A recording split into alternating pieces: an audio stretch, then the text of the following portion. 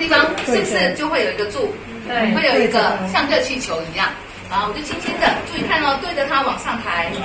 老师手把手的教导学员如何操作烘焙相关机具。这是由内湖区公所所举办的新移民烘焙丙级证照班，希望协助新移民朋友学习一技之长，并透过考取证照提升竞争力，未来更容易进入职场。区长也是希望说，我们能够给这个新住民他们能够有一技之长，这是最重要的。然后，因为要有这个一技之长，他们到时候到职场上面，我想他们可以取得先机，而且会很快的进入到职场。然后我们这次的烘焙课程也特别安排了很有名的陈老师，然后他就是在业界上面是是一个很有名的呃呃烹饪老师，所以我们希望他能够透过这个，我们是三十三十六个小时，透过这三十六个小时的课程，能够让他们学习整个丙级烘哎这个丙级考试的整个课程的内容。课程内容包含吐司及面包的制作。授课老师陈芬强调，在安全的前提下，教导这群新移民学员顺利的学习各种制作技巧及器材机具操作，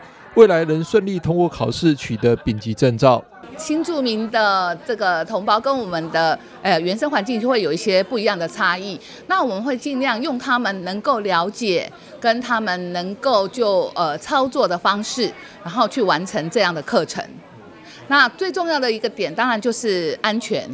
那第二个就是各项专业器呃机具的操作方式，然后我们会有一个最严谨的标准去进行，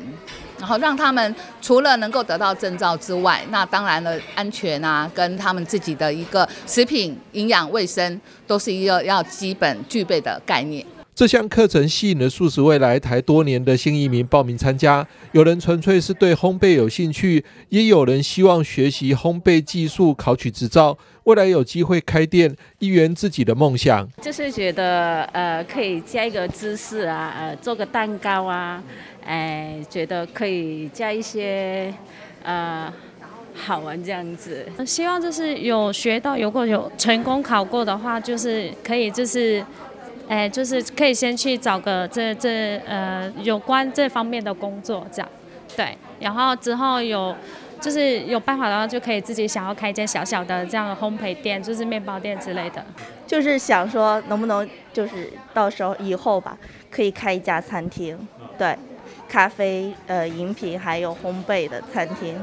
内湖区公所方面表示，一周上一堂课的新移民烘焙丙级证照课程将一直到六月二十号结束，预计六月底到七月中旬参加丙级证照考试。据了解，民国一百零九年在社区大学举办的烘焙证照班，考取率将近六成。希望这一次在烹饪教室专业老师辅导下，能有更多学员考取证照，顺利朝梦想前进。记者张启腾台北报道。